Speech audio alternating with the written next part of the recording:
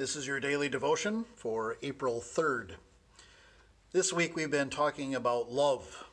We've talked about God's love for us, our love for God, our love for others, including family and even those we might call our enemies.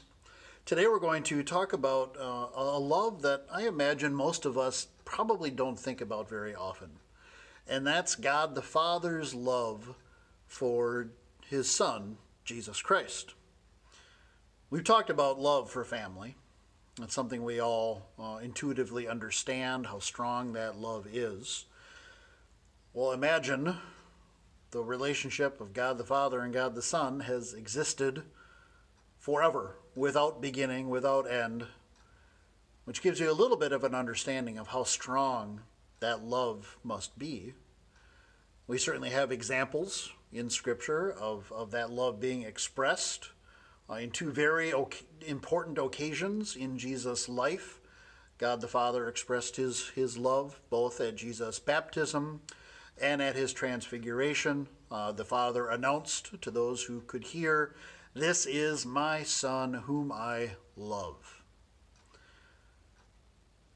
The scripture that we're going to look at today uh, from John chapter 10 is Jesus explaining to us, giving to us a reason why the Father loves the Son.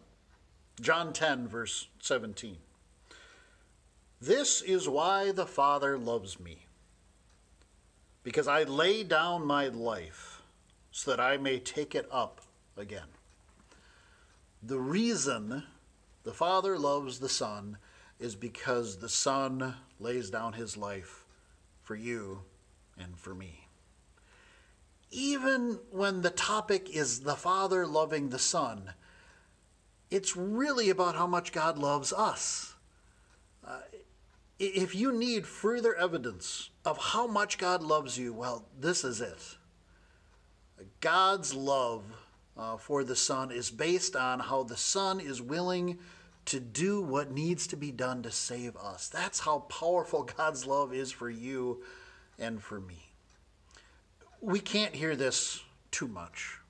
God's love for us. It's it's what we need to hear because our world is, is often so lacking in love. It's what we need to hear because deep down we know we don't deserve God's love.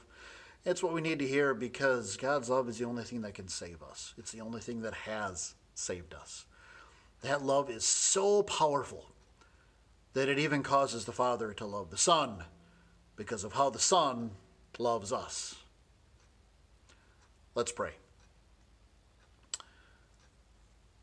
Father, you have told us that you love your Son because he's willing was willing and did sacrifice uh, himself for us. Help us to see that that, that is, is such powerful evidence of your love for us. And we also today uh, pray for St. John member Jim Julian. Jim has been dealing with uh, kidney stones for a couple days here, and as of about 20 minutes ago, um, he was he was going uh, into the ER. It got worse overnight, uh, so we pray for Jim. Dear Jesus, our, our good shepherd who is willing to lay down your life for us, the sheep, uh, we know and trust uh, that you are also taking care of and protecting Jim. Relieve his pain. Bless the, the medical means employed on his behalf. And, and Lord, please protect him from getting exposed uh, to the coronavirus while he is seeking treatment. Amen. Your uh, moment of joy today uh, is something that we recently received at Divinity. Uh, one of our members uh, just donated a huge TV um, to go down where we usually have Bible class to replace the screen. Uh, it'll have much clearer, brighter picture uh, for our Bible studies. So uh, we're certainly thankful for that.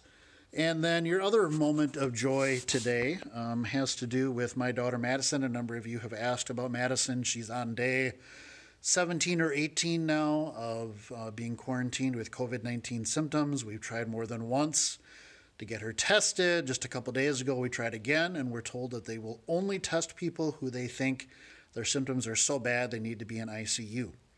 That's not really a moment of joy, uh, but I'm getting to it. Um, her employer, Madison's a CNA, her employer called her today and told her she had to get a doctor's note. Um, we have been told that doctors aren't writing notes right now, which I don't quite know how to explain that. But uh, Madison and her mother uh, went to urgent care today, and uh, mom had to, to stand up for daughter a bit and, and get a little aggressive. Uh, but they finally did uh, see Madison, and um, the still won't give her a test. But the doctor did write her a note uh, saying that she has either COVID 19 or influenza or both. Again, uh, not a lot of good news other than Madison getting that note. But the good news is uh, they did take an x ray of her lungs, and her lungs look, look good, which is probably what we were most concerned about. Um, so we're thankful for that uh, moment of joy. Um, one announcement uh, because next week is Holy Week. Uh, we will, uh, and we are going to try to record Maundy, Thursday, Good Friday, and Easter services. Um, I'm not going to be able to do any video devotions next week. It's just that would just be uh, too much on my plate. Um, I'm going to focus on those Holy Week services, uh, but then the video devotions will come back uh, the week after Easter. Um, I appreciate how you've been watching and how you've been letting me know that you're watching. Have a wonderful weekend.